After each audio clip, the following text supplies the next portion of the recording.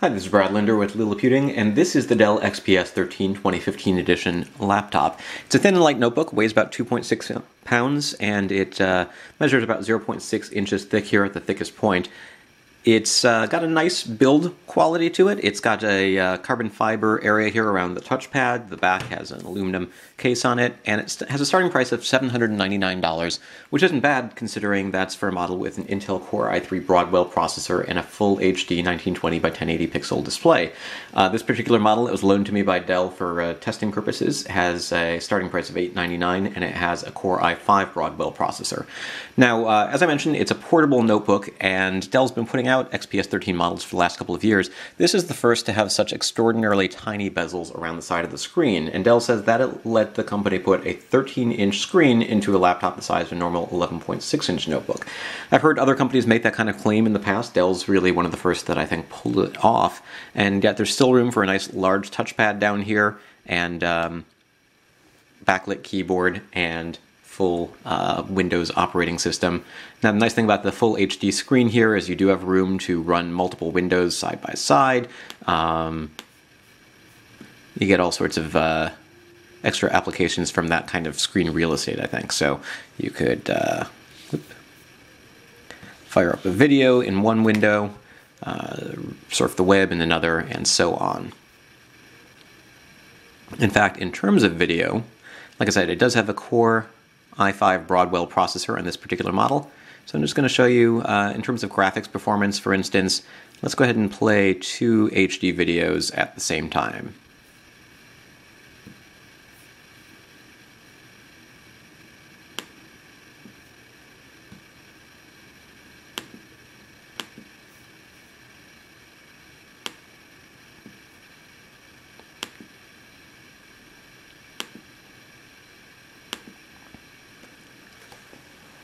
Now, with a lot of other laptops in this uh, 799 starting point in the portable notebook space, I think there's a prioritization of uh, sort of long battery life and low cost over performance, but in this case you can see that we don't have any problems streaming two videos simultaneously.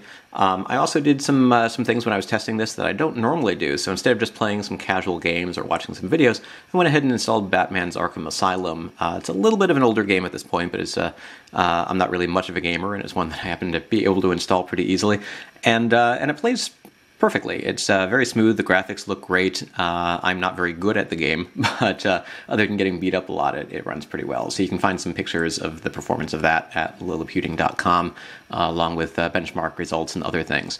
Now, there are a couple of quirks to this guy. First, uh, because there's such a thin bezel, the webcam is located down here and that works just fine if you're just sort of using it for some basic video chat, you know, do Skype or whatever, and say hello to people. But as you notice, as I'm starting to move my hands here, they're way closer to the camera than they would be if the camera were up here. And that can be a problem if you wanted to start typing while you were chatting, because now suddenly your hands can easily take up the entire screen.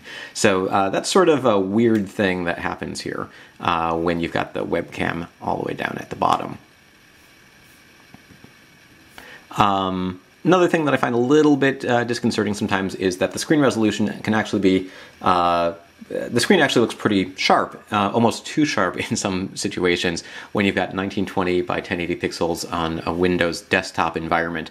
And so you can go into uh, to your Windows uh, screen resolution and you can click the option that says make text uh, and other items bigger and smaller. And I find that 125% works pretty well for most applications.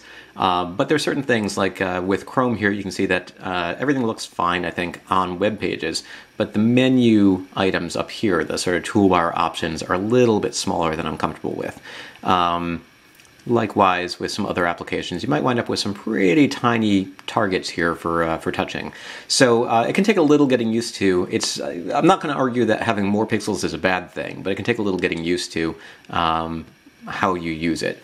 Now, Dell does offer a higher priced model that has a 3200 by 1800 pixel display, and in some ways that actually might be easier to deal with than the 1920 by 1080 pixel screen because when you uh, sort of double all the pixels or, or change the everything to uh, say 200% um, at 3200 by 18, it's sort of like having a 1600 by 900 pixel display. That means that you don't have quite as much room to put multiple uh, windows side by side, but you do have uh, uh, things not looking quite as uh, super sharp. So that's a quick look at some of the features. Let's take a look at what we actually have on the device itself. There's a mini display port, a USB 3.0 port, a headset jack.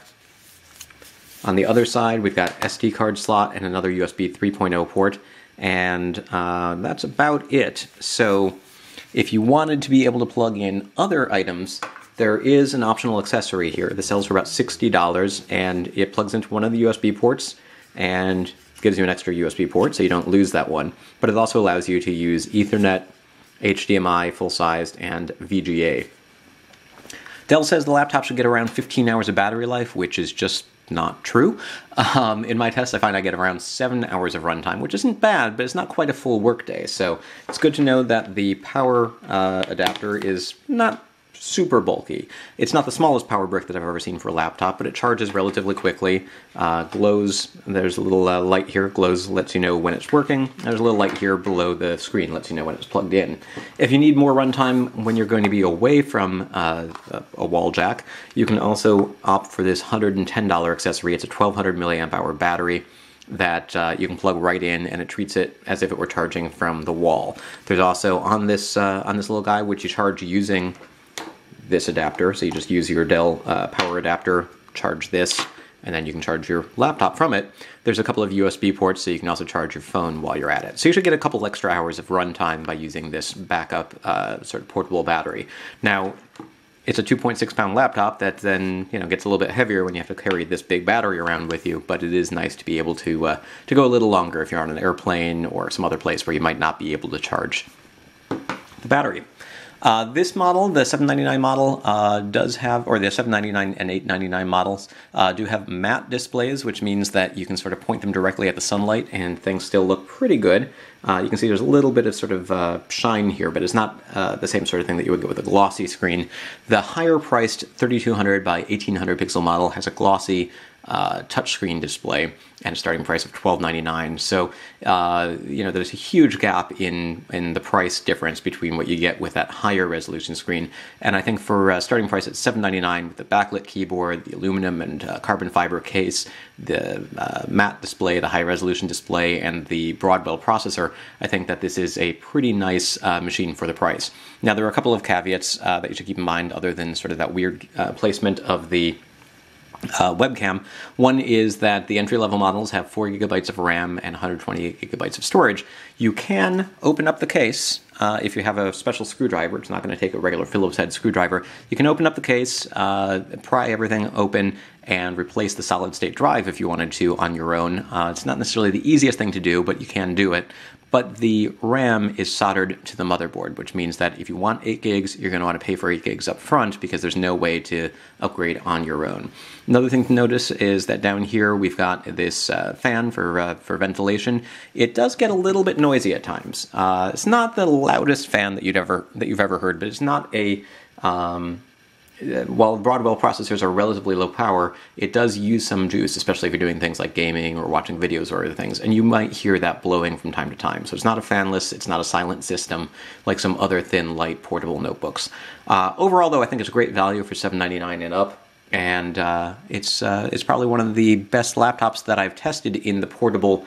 Uh, affordable range. Now, uh, there are cheaper laptops, there are thinner and lighter laptops, um, but this is probably the only 13 inch model that I've tested that takes up so little space and offers so much in terms of performance for the price point. This is Brad Linder with Liliputing and a look at Dell's XPS 13 2015 edition laptop, which aside from the uh, uh, getting about half the battery life that Dell uh, promised, really does live up to most of the promise of what we uh, what we heard when we first saw this laptop at the Consumer Electronics Show in January. It's available now from Dell.com uh, or from the Microsoft Store or from other retail locations. You can find more details, pictures, benchmark results, and more at liliputing.com.